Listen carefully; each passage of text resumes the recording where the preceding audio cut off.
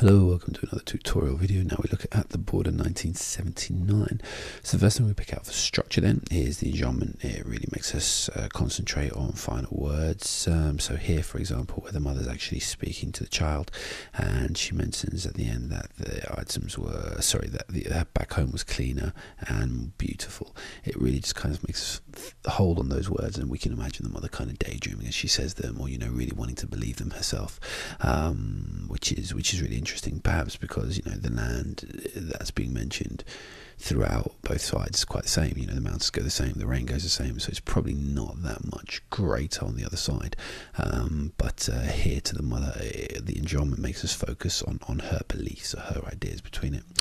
Um, second point, then we've got this, uh, uh, free writing, free verse, should I say, all the way through. So there's no real a set amount of lines or, lines per stanza or, words per line, and that just basically allows for a free recount of exactly what happened without trying to make it fit into a genre, which makes it a little more authentic and adds to the childishness. You know, it's the child's telling us this or a child's memory, so that is actually reinforced by the fact that there's no defined structure because that's her excuse me, telling us, uh, you know, how she remembers it in that child voice.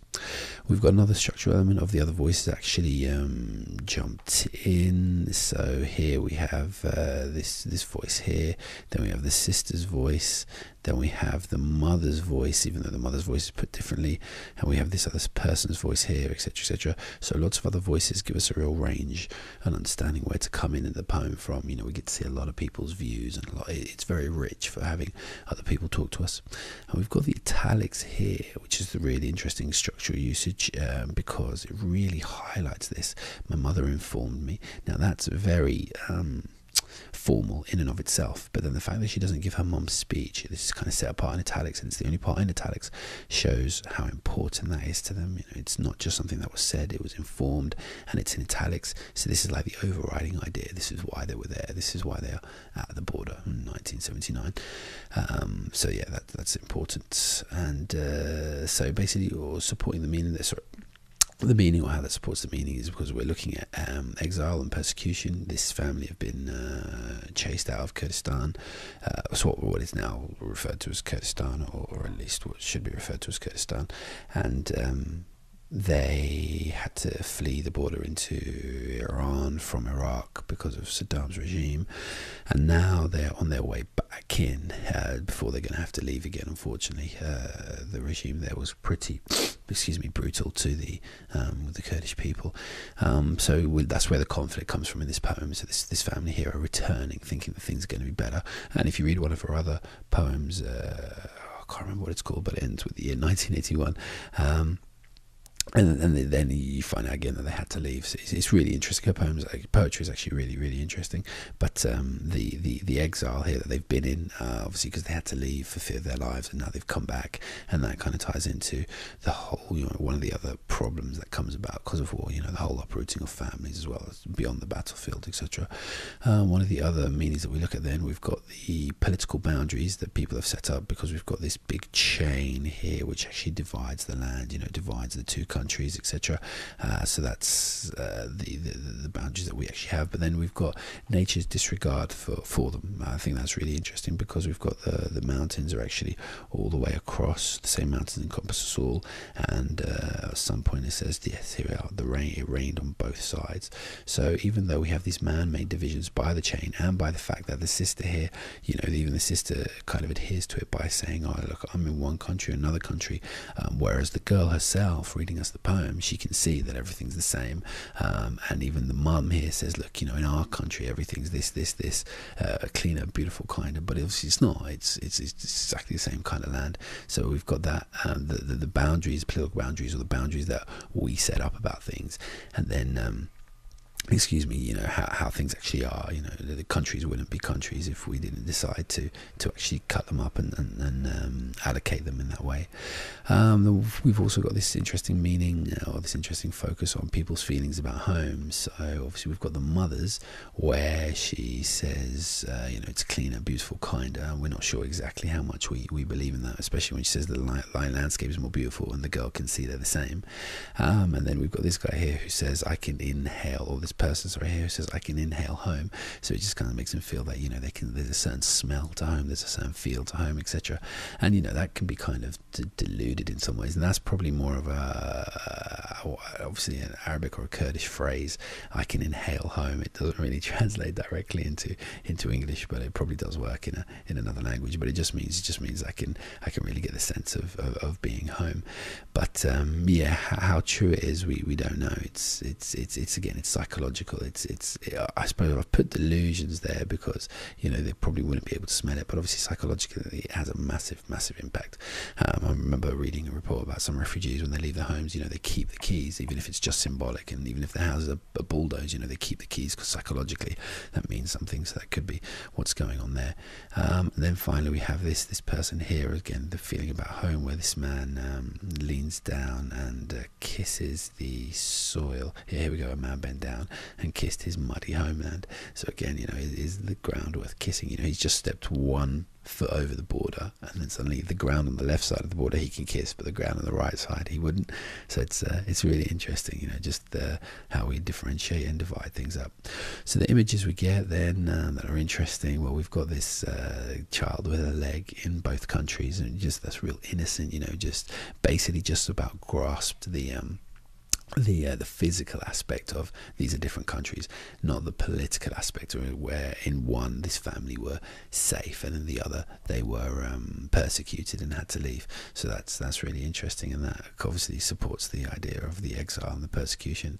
Uh, we've got the image of the border uh, and the uh, the chain and the uh, invisible idea, the political one, obviously the um, excuse me, the abstract idea of the, the, the you know the, the, the boundary and the political difference between them, especially in that regard to safety and where they where they where they'll be taken care of and where they won't, um, and also the change that's come with it now that they can actually go back, even though as we know it was just for a while. Um, but we've also got the chain, you know, making it very visual and people's attitudes towards it. You know, well on the other side, you know, we just crossed this border, everything's better. Da, da, da. So you've got that whole like the three level split, like a political one, a psychological one, and then a physical one, and then you see like nature's just disregard. Which is the next point to come on to. Nature's disregard for all that, and nature, wherever it's meant here, is um, is um, is uh, unifying. So the land itself is only divided by the chain, and the rain rains on both sides, and the autumn color on the other side is the same color, and it, it um, the mountains encompass them all. So you've got so many references just saying, look, the world around us is all linked in together, and it's us that makes these divisions, etc., etc., etc. So we move on then to um, language we've got the repetition of the words at the beginning here much because we've got the uh, the mother says you know much cleaner and much kinder and that just emphasizes to us again that feeling that she has about home and and uh, how um, how it's on such a pedestal in her head and how special she thinks it is. We've also got um, a lot of sensory uh, sensory feeling coming through to us in this which is really interesting because it allows us to look at it very authentically with the child so we can hear people etc obviously we're tasting this drink drink. We're looking around at the, the mountains. We're, we're listening to the sister. This person's smelling their home. This person's touching the ground down here. So it's real, you know, everyone's t- kind of uh, engaged physically with excuse me, engage physically with the, with the with what they're seeing, which actually just presents us with a really rich scene, allowing us to imagine, and understand all these elements a lot better. And um, there's a lot of positive words about home. You know that we've got, you know, the, I can inhale home and the kissing the homeland and beautiful, cleaner, kinder. And again, I just think that really ties in with the um, people's delusions about home. But also, you could link it to this point here about the exile and the persecution, because you know absence makes the heart grow fonder, as they say, um, and, and that's what we're seeing come across there. You know, people just really cherish and love their homeland, etc. In fact, as I as I record this, I'm in I'm in uh, America, and I'm just absolutely overawed by the amount of flags and patriotism that I see here. Um, it's very very different from England, and it just brings that to mind. The um, the uh, the difference between um, or just excuse me, the way people can feel about a homeland and, and, and, the way they can actually just cherish it. And it just reminds me how much I think I probably at least I, I take Britain for granted, and um, and uh, yeah, probably a lot of people do. And maybe if I you know I couldn't return to Britain for a set amount of time, maybe then I would definitely definitely appreciate it. But uh, yeah, so that's uh, although obviously I'm not, I'm not I'm not here because I'm in exile. I'm just saying it's it gives me the idea that you, you probably appreciate home a lot more if um, if you didn't or if you couldn't go go go back there. Um, so moving on then to the effects on the reader. Well, it makes us think about refugees and why they live, uh, or why they, sorry, why they're in the situation they're in. You know, what, what do they do? How they're persecuted? How it can help? You know, their lives, what they actually go through, missing home, etc. It makes us also think about the similarities of um, people and nature. Why people excuse me, why people are um, in in uh, sorry making divisions between us or in conflict or at war with each other when really you know in essence we really are all the, the, the same you know and we can actually train ourselves to be a lot more kinder and, and like together than we were. So just to apply the Kurdish people you know they, they were just persecuted for, for years you know like just relentlessly by Saddam and um, and, and generations before that as well but, but most notably recently uh, in reference to this poem by Saddam Hussein. And um, you know it just makes you kind of wonder about how people could be more linked like nature is just linked and, and accepting of it. One mountain doesn't turn to another mountain and go, yeah, you're not, you know, you, you're, you're no mountain, get away from me, I'm going to persecute you. It doesn't make, it doesn't make sense for us to do the same, or at least that's that's one element you could actually develop into thinking about, and um, also gets thinking about divisions. You know, the divisions that we have between ourselves, uh, you know, that cause the conflict in the first place, whether it be an argument on the street or whether it be wars between countries, the divisions that we actually have um, politically through mountain ranges, etc. Sorry, politically through um, different countries and different treaties, etc. And, and you know where we draw those borders and lines and how we bend them sometimes to actually include other things. So, for example, uh, you know, on a, on a nominal issue, so like um, different countries being in countries to do with a continent that, that, they're not really part of, or different laws stretching or wanting to change to encompass uh, elements of other country that uh, have something to do with their business, etc.